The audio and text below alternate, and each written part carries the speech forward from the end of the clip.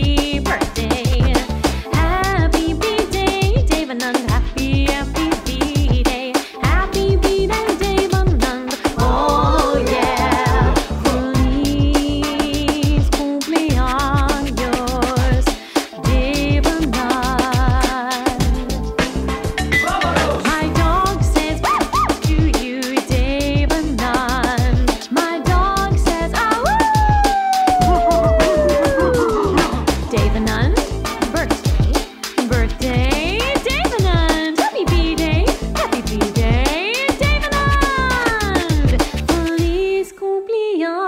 yours, Devanand, yeah. One happy birthday dot com.